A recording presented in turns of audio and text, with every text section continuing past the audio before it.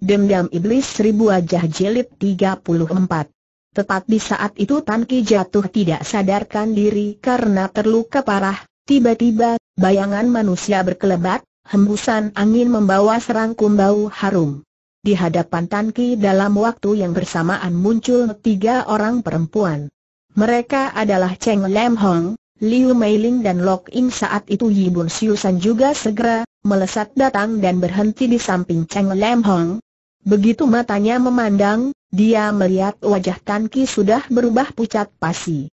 Di bagian keningnya bagai ada guratan garis berwarna hijau. Sepasang matanya terpejam rapat. Nafasnya lemah sekali. Seakan setiap saat setiap detik nafasnya itu bisa berhenti secara mendadak. Tetapi telapak tangan kanannya tetap menggenggam pedang sulingnya rat-rat. Keadaan yang mengenaskan ini membuat ketiga perempuan itu menguraikan air mata dengan deras. Hanya perasaan hati mereka lah yang berbeda-beda. Cheng Lam Hang mendongakkan wajahnya menatap Pi Bun Siusan air matanya masih mengalir dengan deras. Lukanya parah sekali, bukan Yi Bun Siusan menarik nafas panjang.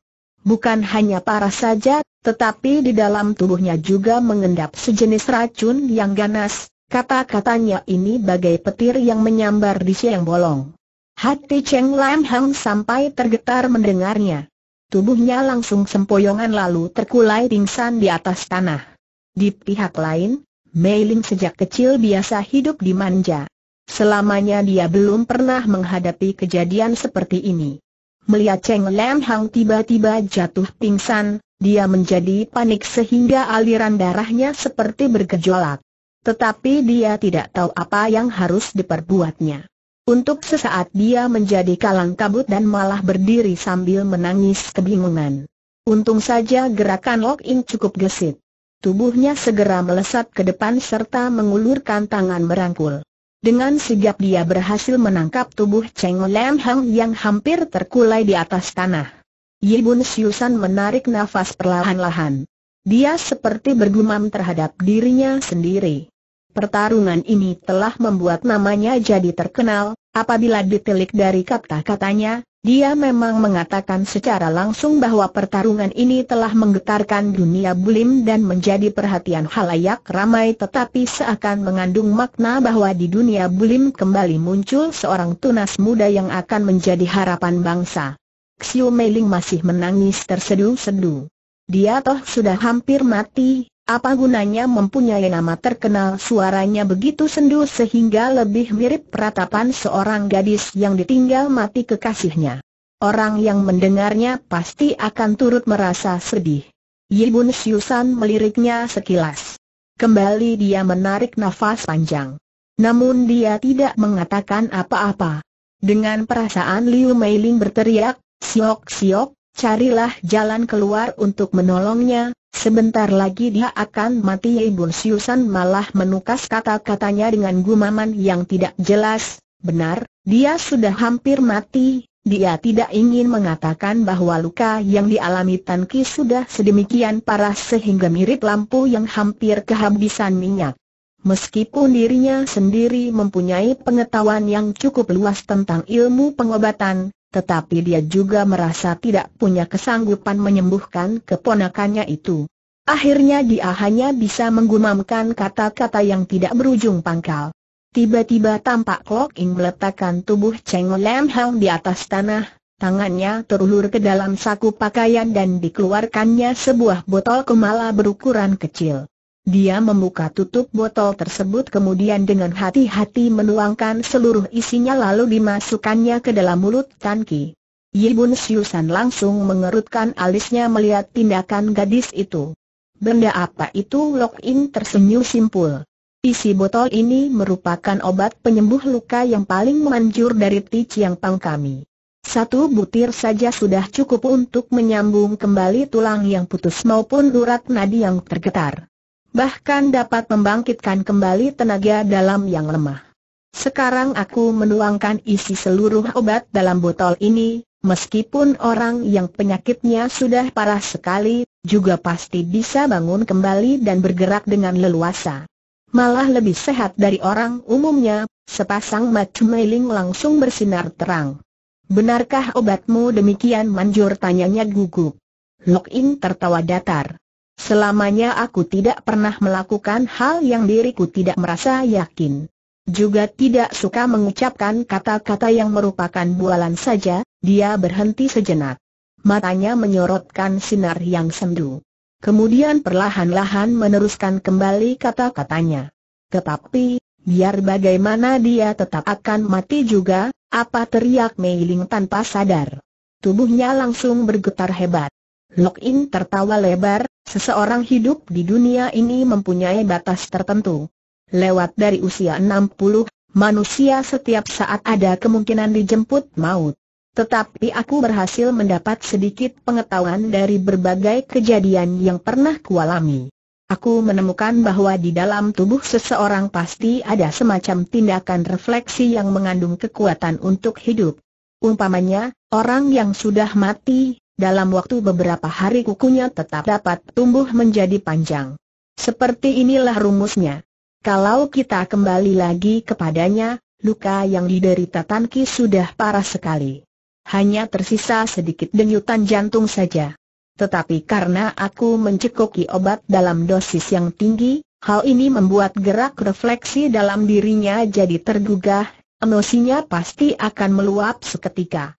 Biarpun lukanya lebih parah dari sekarang, asal nadinya masih ada denyutan, tentu bisa menghidupkan dia untuk sementara. Dengan kata lain semangat hidupnya akan kembali untuk beberapa waktu, mendengar penjelasan Lok In yang panjang lebar, Meiling yang pada dasarnya masih polos dan tidak mempunyai banyak pengetahuan merasa apa yang diuraikannya, sejak zaman purba sampai sekarang tidak pernah mendengar hal semacam itu. Tanpa dapat dipertahankan lagi dia malah jadi termangu-mangu. Sesaat kemudian, dia baru bertanya, kalau begitu, mengapa dia tetap akan mati Lok In kembali tersenyum simpul. Kalau dia sadar kembali nanti, berarti karena dibantu oleh obat yang ditelannya tadi. Apabila reaksi obat itu sudah habis, maka seperti lampu yang sudah kehabisan minyak, bagaimana masih bisa menyala? Otomatis kekuatan hidupnya juga padam dan dia pun tidak dapat hidup lebih lama lagi. Mendengar ucapannya, Meiling seperti merasa dadanya ditinju dengan keras, seluruh tubuhnya bergetar dan wajahnya pun berubah hebat. Kalau begitu, dia tidak mempunyai harapan lagi walau setitik saja tentu saja itu yang kumaksudkan. Hati Meiling menjadi pedih. Dua baris air mata mengalir dengan deras. Untuk sekian lama dia berdiri tertegun tanpa mengucapkan apa-apa. Tampangnya saat itu persis seperti sebuah patung Dewi yang suci. Tubuhnya berdiri tegak, wajahnya anggun dan demikian welas asih. Siapa yang sangka kalau saat ini hatinya persis seperti sebuah perahu yang karam dihantam ombak. Hancur berderai menjadi kepingan-kepingan kecil. Tiba-tiba terdengar suara pukulan dan suita nyaring. Entah sejak kapan Bun Siusan sudah mulai bergebrak dengan kedua manusia berpakaian hitam tadi. Dalam keadaan seperti ini, mana mungkin Meiling mengurusi persoalan yang lain. Terdengar suara tangisannya yang terisak-isak. Kau, kau, sungguh, keji, sekali, perasaannya yang bergejolak menandakan kepedihan karena harapan yang kandas. Hal ini membuat ucapannya jadi tersendat-sendat seakan memerlukan tenaga yang kuat untuk mengatakannya Lok In tersenyum lembut, tadi malam adalah saat di mana kalian, menyembah langit dan bumi serta mengikatkan diri menjadi suami istri. Ratusan tamu berdatangan dari segala penjuru bulim. Tambur berbunyi terus memeriahkan suasana. Bayangkan bagaimana hebatnya penampilan kalian saat itu, bahkan membuat perasaan orang menjadi iri. Sekarang apabila dia masih hidup di dunia ini, biar kapan pun dia tetap merupakan milikmu. Sedangkan bagi diriku, juga sulit menyatakan bagaimana perasaanku yang sebenarnya. Kalau aku ingin mendapatkan dia, satu-satunya jalan hanya menunggu sesudah mati. Oleh karena itu, Meiling cepat-cepat menukas, oleh karena itu kau menggunakan care ini agar dia celaka Lok In tertawa lebar. Aku tidak ingin mencelakai siapa pun. Tetapi kalau ditelik dari lukanya yang demikian parah, dan nafasnya yang tinggal satu-satu, waktunya juga tidak seberapa lama lagi. lebih baik bangkitkan sisa kekuatannya dan bantu dia mendapatkan nama besar di dunia bulim. Dengan demikian, kemungkinan ia dapat meninggalkan segurat cahaya yang cemerlang dan bayangkan berapa banyak orang gagah yang akan mengenang dirinya dan menghormatinya, ketika berbicara sampai bagian yang menyenangkan, tanpa sadar bibirnya tersenyum. Namun senyum itu begitu menyayat hati. Tampak wajahnya yang tenang tidak menunjukkan perubahan apa-apa. Dengan demikian orang yang melihatnya tidak dapat menebak apakah dia sedang bergembira atau bersedih tetapi sepasang matanya justru menyorotkan sinar tekadnya yang bulat. Hal ini membuktikan bahwa gadis yang selalu malang melintang di daerah Saipa ini tampaknya sudah mempunyai rencana yang matang setelah kematian Tan Ki. Dia tidak takut anak muda itu akan mati dan memberikan pukulan batin yang hebat kepadanya. Juga tidak takut perasaan hatinya sejak sekarang hanya akan menjadi sebuah harapan yang menggantung dalam angan-angan. Tiba-tiba tampak wajah Meiling berubah hebat. Aku akan mengadu jiwa denganmu katanya garang. Telapak tangannya bergerak, telapak tangan kiri menggunakan kesempatan itu mendesak ke depan. Dengan jurus lima geledek sekali sambar, dia melancarkan sebuah serangan dengan keji. Suara pukulan yang dahsyat seperti gunting menyobek kain panjang sehingga membuat telinga menjadi ngilu mendengar. Tubuh Lok In bergeser sedikit lalu mencelat ke samping sejauh lima langkah. Deruan angin yang keras melintas lewat di ujung pakaiannya. Tampak bibirnya menyunggingkan seulas senyuman yang manis. Di antara kita toh tidak ada dendam apa-apa, mengapa harus mengadu jiwa segala kau sudah mencelakai Tan Koko, aku tidak mempunyai gairah untuk hidup sendiri di dunia ini sahut Meiling ketus Lok In mendengus satu kali dengan nada dingin dan kecut. Daripada mengadu jiwa dengan diriku sampai mati, lebih baik bunuh diri saja, toh lebih mudah. Meiling menganggukkan kepalanya sambil menangis pilu. Aku akan melakukannya. Aku akan membunuh diriku sendiri dan menemani kematian Tan Koko. Aku tidak ingin sukmanya kesepian di alam baka. Tetapi sebelum aku menutup mata, Aku harus membalaskan dendam dulu bagi Tan Kokolok Ing mendongakkan kepalanya menatap awan yang berarak di langit. Perlahan-lahan dia berkata, Kau ingin balas dendam atau tidak, dan menggunakan cara yang bagaimanapun, sama sekali tidak ada hubungannya dengan diriku. Tetapi setelah dia mati, aku akan mencarikan sebuah tempat yang tenang serta terpencil untuk mengubur dirinya. Lalu akan kubangun sebuah makam yang besar sekali agar sukmanya dapat terhibur. Kemudian, Meiling melihat mimik wajahnya yang seperti tersenyum namun mengandung kesedihan yang dalam. Sehingga menyiratkan keanehan yang tidak dipahaminya. Namun kata-kata yang diucapkannya demikian tegas. Untuk sesaat dia jadi bingung. Kemudian bagaimana aku akan mengenakan pakaian berwarna putih dan kerudung kepala berwarna putih pula. Dari dalam aku akan mengunci pintu makam besar itu, lalu aku akan menemani di sampingnya, siang dan malam menunggu waktu terus berlalu. Aku akan terus menjaganya, melihat wajahnya melihat seluruh bagian dari dirinya sampai ajal menjemputku, tanpa terasa tubuh Meiling bergetar. Dia benar-benar terkejut sekali. Meskipun pada dasarnya dia adalah seorang gadis polos yang tidak pernah mempunyai pikiran licik, tetapi dia tetap merasa bahwa apa yang dikatakan Lok In terlalu gila-gilaan. Di dunia ini mana ada orang yang menutup dirinya sendiri di dalam sebuah kuburan raksasa dan menemani sesosok mayat selama hidupnya? Rencana yang gila dan luar biasa ini, memang merupakan suatu peristiwa yang hampir tidak pernah ditemui sejak dulu sampai saat sekarang ini. Namun justru dari rencananya ini, Meiling dapat mengetahui sampai di mana dalamnya perasaan cinta Lok In terhadap suaminya. Setelah tertegun beberapa saat, akhirnya Meiling menarik nafas panjang. Cici, aku sungguh kagum kepadamu, kau tidak merasa marah kepadaku Meiling menggelengkan kepalanya, bibirnya mengembangkan seulas senyuman yang getir tanpa mengucapkan sepatah kata pun. Tampangnya sungguh mengenaskan, mengandung kesenduan yang tidak terkirakan. Sudah pasti, dia merasa sakit dan menyesal atas nasib Tan Ki yang malang.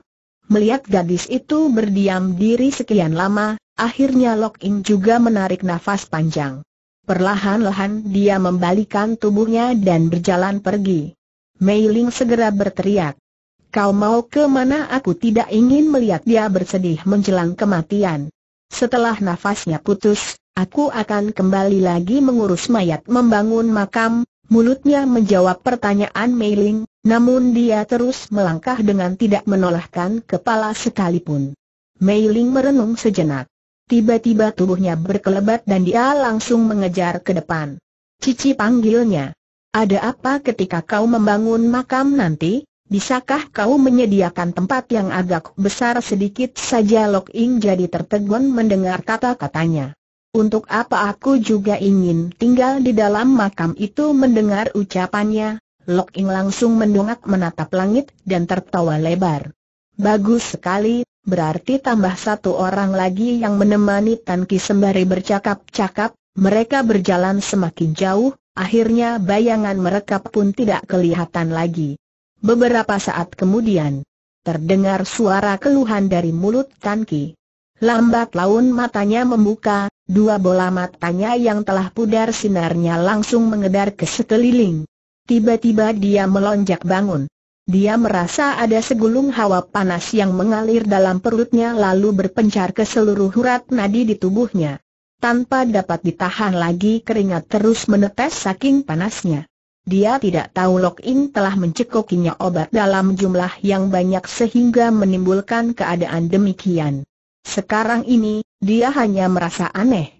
Begitu matanya memandang, dia melihat tiga sosok bayangan saling berkelebat dan bertarung dengan sengit. Hal ini merupakan pertarungan antara jago-jago kelas tinggi yang jarang terlihat. Sepasang telapak tangan Yi Bun Siusan yang kosong menghadapi dua jago kelas satu dari Sieu. Apabila ingin meraih kemenangan dalam waktu yang singkat, tentu bukan merupakan hal yang mudah. Perlahan-lahan Tan Ki mengedarkan kembali pandangan matanya dan menatap ibunya yang masih dalam keadaan pingsan terkulai di atas tanah. Setelah memperhatikan sejenak, di dalam hatinya tiba-tiba muncul perasaan kagum yang dalam. Dia merasa manusia hidup di dunia ini, apabila dapat merasakan kasih sayang seorang ibu, tentu merupakan peristiwa yang paling membahagiakan. Tetapi setelah dipikirkan kembali, tanpa terasa dia tertawa getir. Dirinya merupakan calon orang mati, meskipun dapat merasakan kebahagiaan, tetapi tetap saja tidak dapat menyelamatkan keadaannya yang sudah diambang ajal.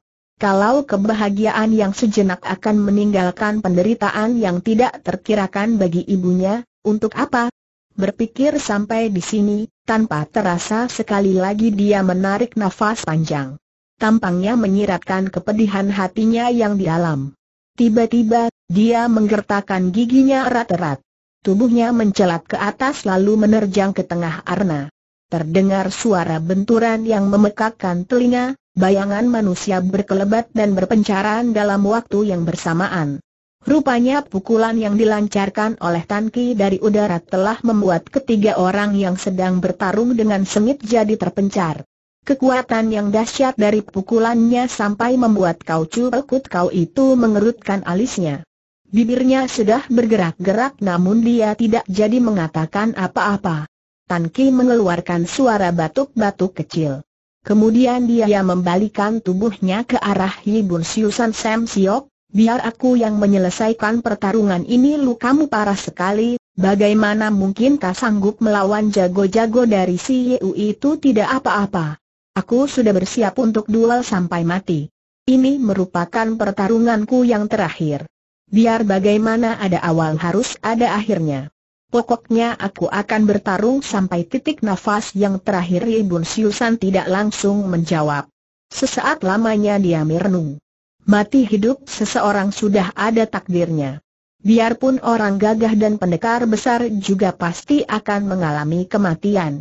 Sioku tidak perlu berpikir lama-lama lagi. Ibuku sedang tergeletak pingsan di sana. Harap Sioku mengurusnya sebentar. Apabila aku sudah mati nanti, tiba-tiba dia tertawa pilu dan membungkam seribu bahasa.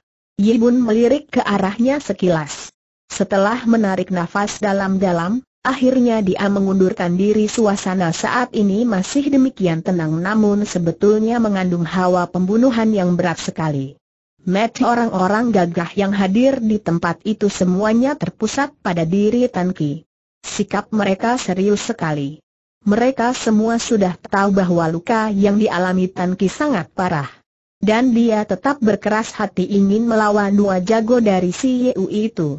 Tiba-tiba, cahaya golok berkelebat, kedua manusia hitam yang berwajah jelek dan bertubuh gemuk pendek itu serentak mengeluarkan sebuah kaitan yang panjangnya kurang lebih tujuh cun. Mereka berdiri berdampingan. Tanki tersenyum simpul. Perlahan-lahan dia melangkah maju mendekati mereka. Gerakan kakinya begitu lambat. Tetapi setiap tindakannya yang berat seakan mengandung hawa pembunuhan yang berat sehingga sikap mereka menjadi tegang. Tiba-tiba manusia berpakaian hitam yang berdiri di sebelah kanan menggetarkan kaitan di tangannya. Timbul secarik cahaya bagai pelangi. Berhenti teriaknya. Tanki seolah tidak melihat cahaya yang menimbulkan hawa dingin itu. Dia tetap melangkahkan kakinya dan berjalan mendekati mereka. Kedua manusia berpakaian hitam itu merupakan orang-orang yang wataknya keras sekali, tetapi selamanya belum pernah melihat orang yang demikian tenang seperti Tan Ki.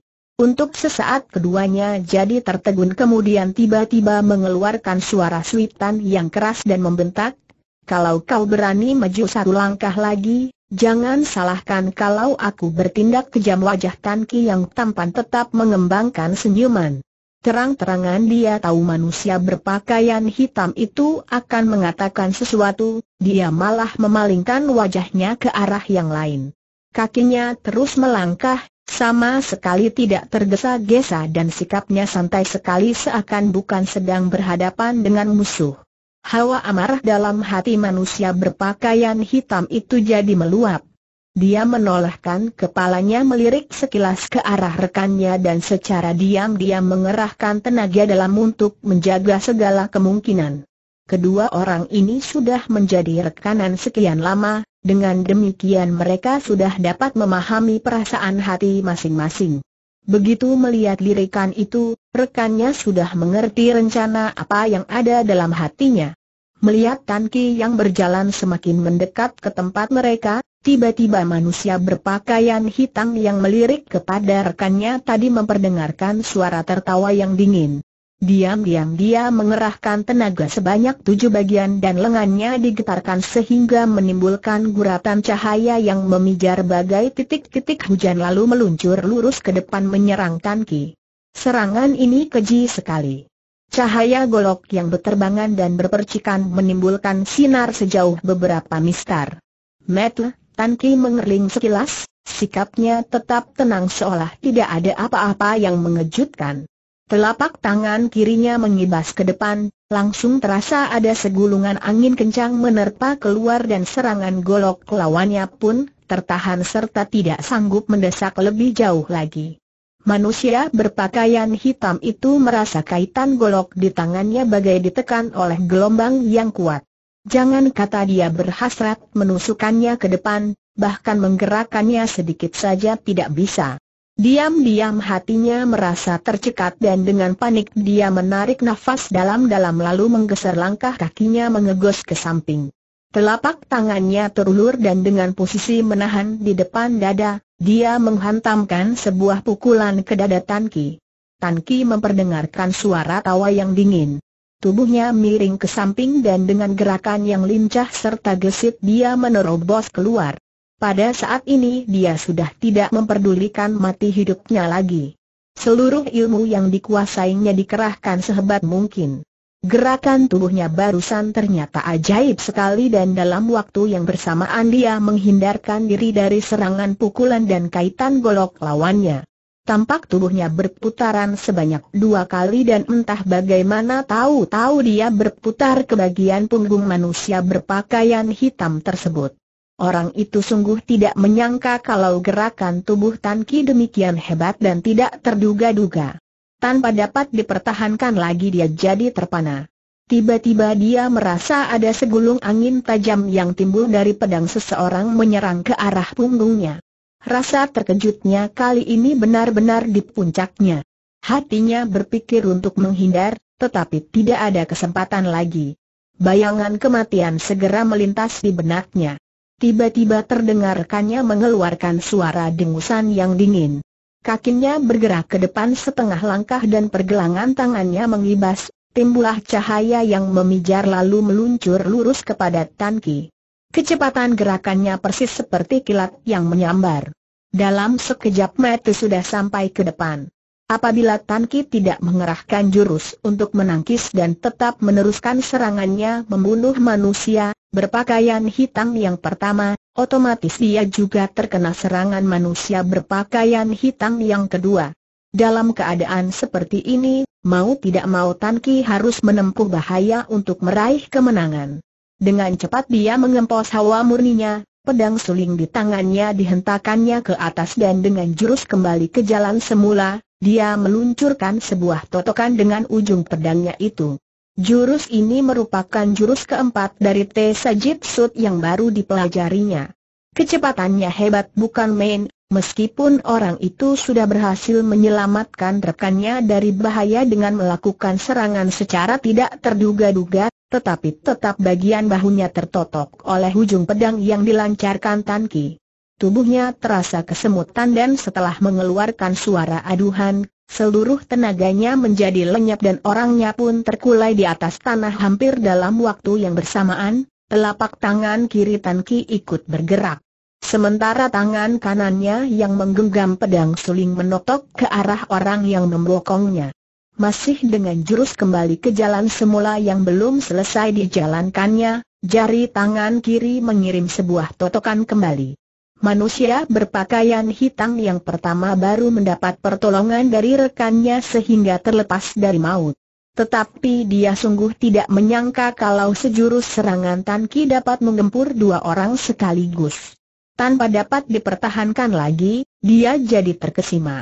Belum lagi tubuhnya sempat bergerak, jalan darahnya sudah tertotok.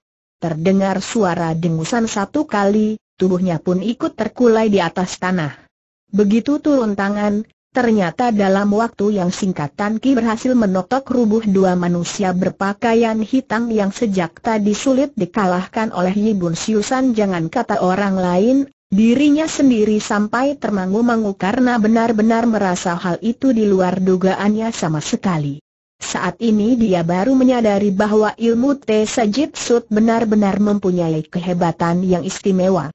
Pengaruh kekuatannya sampai-sampai tidak terduga oleh dirinya sendiri.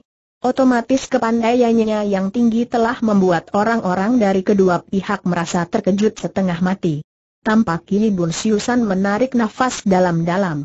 Dia seperti bergumam kepada dirinya sendiri, dia benar-benar perkasa dia seperti teringat akan sesuatu hal. Matanya terpejam dan ia mengatur pernafasannya sejenak. Kemudian dia mendekatkan telapak tangannya ke arah punggung Cheng Lam Hang dan membantunya agar lebih cepat tersadar kembali. Tetapi sepasang matanya tetap mengawasi gerak-gerik Tan Ki. Dia melihat anak muda itu berdiri tegak di tempatnya dengan menggenggam suling pedangnya erat-erat. Sikapnya seperti jenderal-jenderal besar yang sering terlihat di lukisan-lukisan orang-orang terkenal. Sikap Tan Ki yang anggun dan berwibawa ini justru membuat pihak jago-jago si Yeu menjadi semakin tidak tenang hatinya. Kau Cukutka sendiri melihat orang-orang dari pihaknya satu per satu berjatuhan tanpa bisa bangun kembali. Dari pihak lawan hanya Oye Kukiong seorang yang terluka. Perbandingan yang jauh ini benar-benar membuatnya kehilangan muka. Hawa amarah dalam dadanya terasa hampir meledak. Oleh karena itu dia segera mendengus dingin dan membisikkan beberapa patah kata di telinga Kim Yeu. Dia sendiri lalu berjalan menghampiri anak buahnya yang terluka guna memberikan pertolongan. Tampak bayangan berkelebat dan Kim Yeo sudah melesat keluar dari tempatnya. Orang ini merupakan adik seperguruan dari Kau Chu Kut Kau. Gerakan dan tindak tanduknya tentu tidak dapat disamakan dengan yang lainnya. Baru saja terdengar suara angin yang berdesir, tahu-tahu orangnya sudah berdiri di hadapan Tanki. Suasana semakin tegang di udara bagai ada serangkum hawa yang pengak menyelimuti suasana yang sudah mencekam itu. Tekanan hawa itu begitu hebat sehingga dada setiap orang terasa sesak dan sulit bernafas. Tangan pun mengeluarkan keringat dingin. Kau dan aku sudah pernah bergebrak di dekat kuil tua bagian luar kota. Apakah kau masih mengingatnya tidak salah? Buat apa kau menanyakan kembali hal itu tampak pergelangan tangan Tan Ki memutar. Dia menekan masuk pedangnya ke dalam suling lalu menyelipkannya di ikat pinggang. Bukankah waktu itu kau sedang merundingkan gabungan dua pihak dengan seorang perempuan mungkin Tan Ki memang bermaksud agar kata-katanya didengarkan oleh orang-orang gagah. Oleh karena itu suara bicaranya makin lama makin keras. Caranya bertanya juga sangat ketus. Kim Yeu mengangkat sepasang bahunya dan mengembangkan senyuman yang licik. Pertanyaanmu aneh sekali. Benar-benar membuat orang bingung bagaimana harus menjawabnya, katanya acuh tak acuh. Tan Ki mendengus satu kali. Kalau aku tidak memaksamu dengan ilmu silat, mungkin kau masih belum bersedia menjawabnya selesai berkata, tanpa memberi kesempatan sedikit pun kepada Kim Yeu, Telapak tangannya langsung bergerak dan dia pun melancarkan dua buah pukulan secara berturut-turut. Secara tidak terduga-duga, Tan Ki melancarkan serangan. Gerakannya bagai kilat dan mengandung kekuatan yang dahsyat serta melanda keluar dengan keji. Tiba-tiba terasa ada hawa dingin yang menyelimuti sekitar tempat itu. Suaranya bagai badai yang mengamuk dan serangannya bagai ombak yang bergulung-gulung.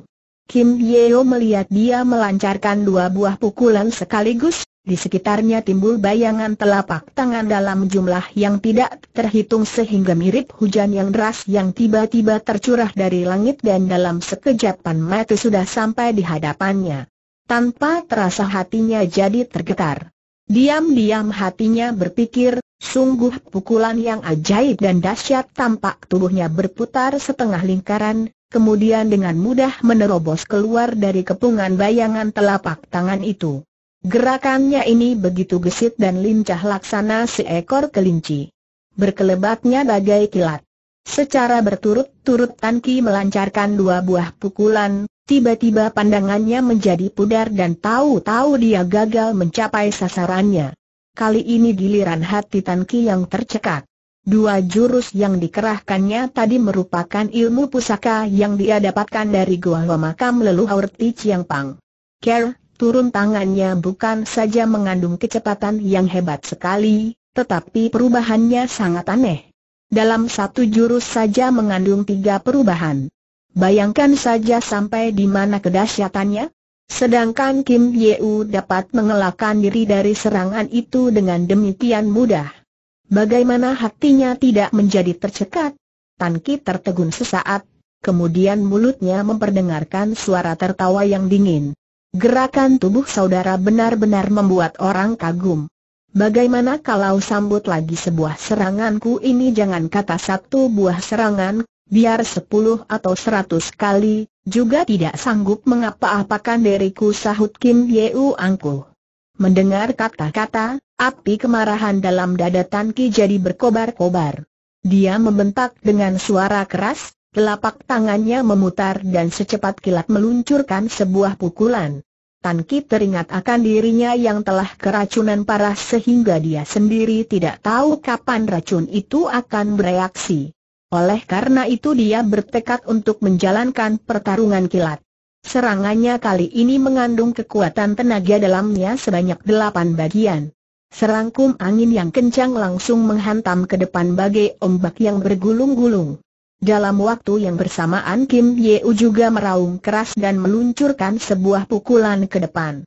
Saat yang hanya sekejapan mata, hati orang-orang gagah langsung ikut tertekan. Terdengar suara benturan dua kekuatan yang menggelegar memecahkan keheningan. Kim Yeu langsung tergetar mundur sejauh tiga langkah. Sedangkan tubuh Tan Ki yang kekar tidak bergerak sedikit pun. Sekali lihat saja sudah dapat dipastikan bahwa kekuatan Kim Yeu masih kalah setingkat dengan anak muda itu. Tan Ki sedang terluka parah. Dari mana datangnya kekuatan begitu besar sehingga sanggup membuat Kim Yeu tergetar mundur? Rupanya Lok Ying mencekokinya dengan obat mujarab dalam jumlah yang banyak.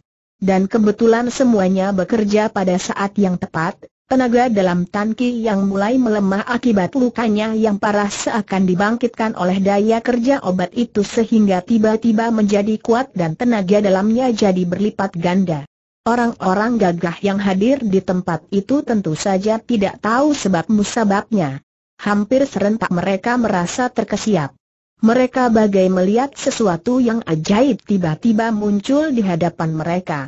Sementara itu, Kim Yeu menggertakkan giginya erat-erat dan mengerahkan tenaga dalamnya ke seluruh tubuh. Kau juga coba sambut pukulanku ini bentaknya baru saja kata-katanya selesai, kakinya melangkah maju setengah tindak. Jari tangannya menekuk bagai kaitan sehingga menimbulkan suara suitan dan tanpa menunda waktu lagi, lima jari tangannya menyerang dari atas ke bawah. Bagus sekali bentak Tanki. Pinggangnya meliuk dan secepat kilat dia meloloskan diri dari serangan lawan. Gerakan tubuhnya yang demikian cepat benar-benar mengejutkan Kim Yeu. Gerak langkah maupun kecepatannya begitu luar biasa, ringan dan ajaib.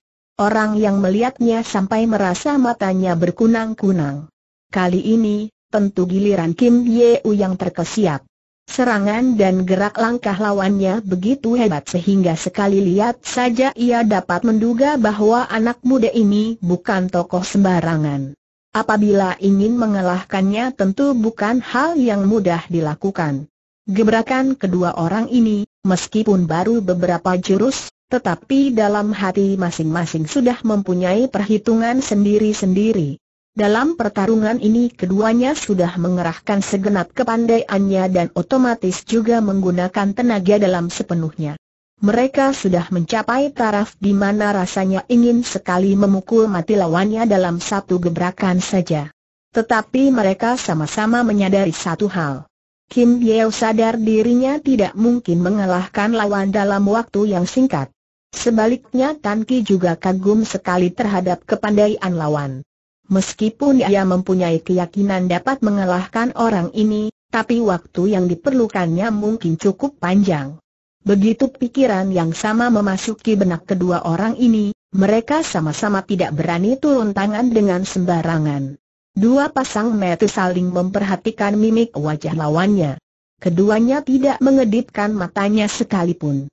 Karena pertarungan di antara jago-jago kelas tinggi, kecepatannya bagai kilat. Dalam sekejap mata hidup atau mati sudah dapat ditentukan. Andai kata dalam keadaan seperti ini perhatian terpencar dan teledor sedikit saja, maka segera akan mendapat kerugian besar yang malah mungkin bisa kehilangan nyawa. Pandangan mati Oye Kukiong perlahan-lahan terangkat ke atas. Dia melihat sikap tegang di antara kedua orang yang menunggu siapa dulu yang akan bergerak. Tanpa terasa dia menarik nafas panjang sambil menggeleng-gelengkan kepalanya. Saat ini, setelah mendapat bantuan pengerahan hawa murni dari Kok Hawa Hong, lukanya sudah sembuh sebagian besar. Tetapi hatinya terus memikirkan satu hal. Beberapa hari yang lalu, andai kata dia tidak menyerahkan sebotol racun kepada Kiao Hun, tentunya dia juga tidak akan keracunan separah ini. Setelah pertarungan ini, kemungkinan dia akan semakin terkenal sehingga pengaruhnya sampai ke daerah si Yeu, sampai di sini, dia merasa hatinya tertekan. Apabila Tan Ki tidak beruntung sampai mendapat kematian, kelak, mungkin karena kesalahan besar ini, dia akan menyesal seumur hidup. Tetapi, meskipun dia sudah menganggap Tan Ki sebagai sahabat sejati, biar bagaimana perasaan cinta kasihnya kepada Kiao Hun lebih dalam lagi. Bahkan gejolak asmaranya sudah mencapai titik maksimal. Apabila dia harus memilih di antara kedua orang itu, dia pasti akan berdiri di pihak Kiao Hun dan rela mati demi cinta kasihnya. Kalau tidak, dia juga tidak mungkin pura-pura berbuat segala macam kebaikan dengan maksud mengambil hati para orang-orang gagah.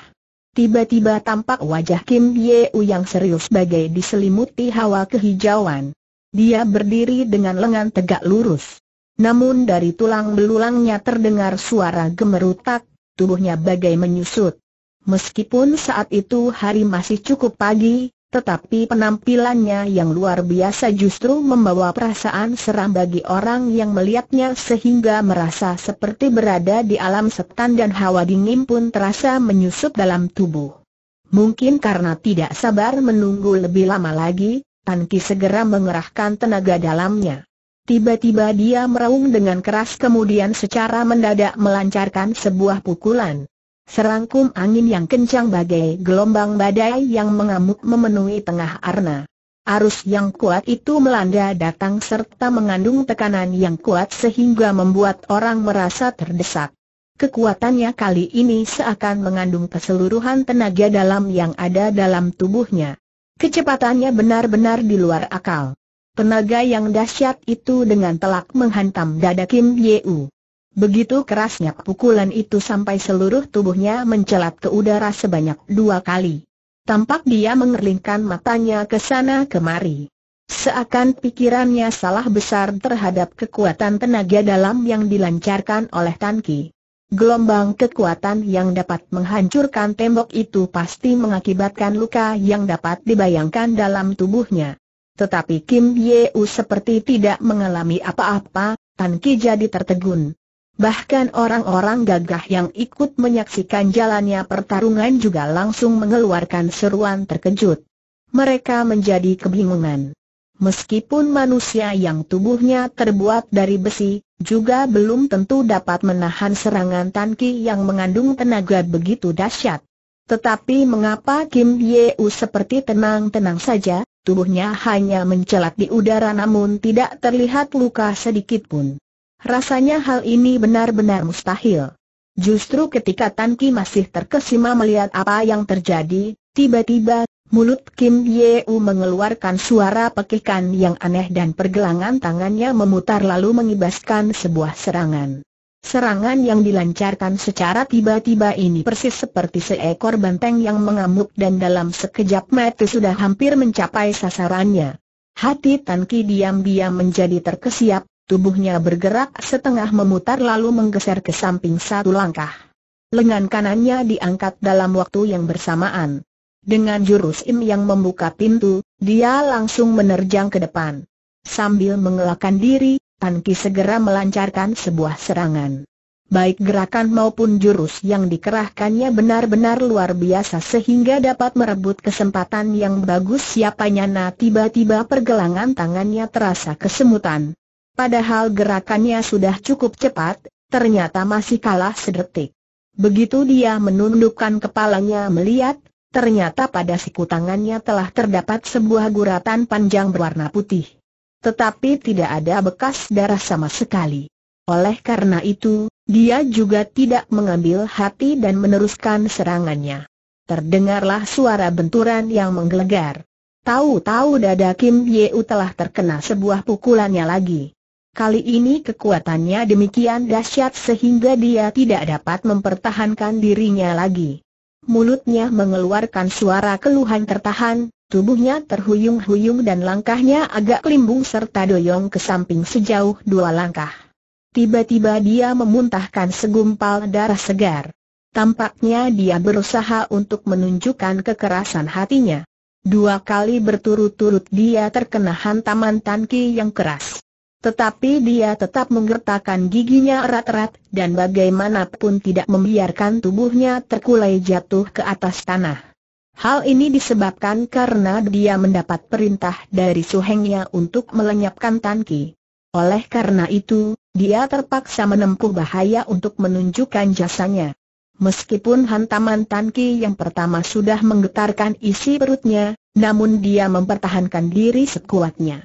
Sebab apabila dia tidak sanggup membunuh Tan Ki atau sampai mengalami kekalahan, setelah kembali nanti, pasti tidak akan mendapat hukuman yang berat sesuai peraturan dalam perkumpulan perkut kaum mereka.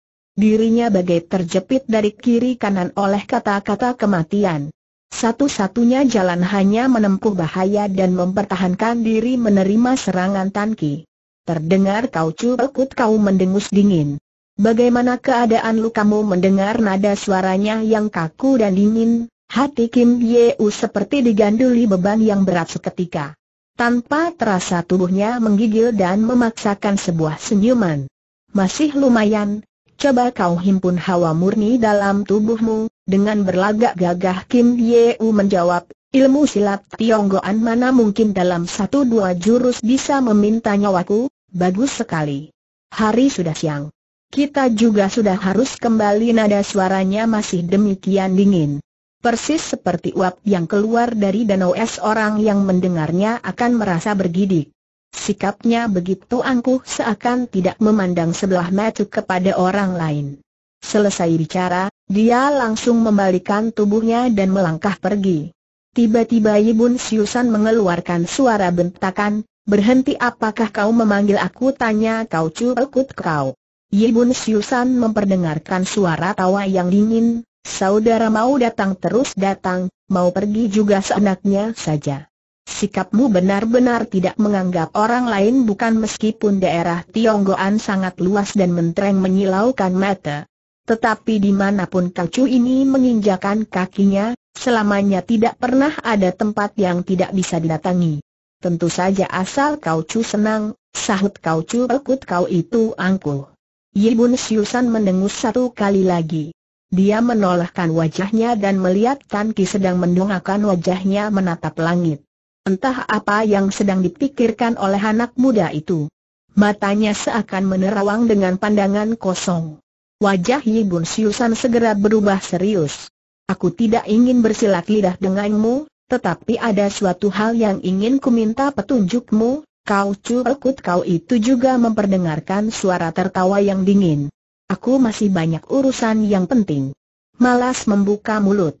Apabila ingin aku menjawab pertanyaanmu, maka harus menunggu sampai aku mempunyai kegembiraan dulu, urusan ini menyangkut kedua belah pihak. Biar bagaimana harus ada jawabannya dengan sikap tegas Yibun Siusan melanjutkan kembali kata-katanya. Tetapi, kalau kau tetap berkeras tidak mau menjawabnya, aku juga tidak akan memaksa kau cukut kau tertawa terbahak-bahak. Kalau ada keuntungan yang bisa diraih, tentu saja harus disempatkan waktu untuk berunding. Coba kau tanyakan saja, lihat kau cu bisa menjawabnya atau tidak kau pernah mengajukan beberapa pertanyaan kepada anaki. Bahkan berusaha mengetahui jejak seseorang. Hal itu malah membuat aku teringat akan seseorang pula. Baik sikap maupun raut wajahnya sama seperti yang diceritakan anaki.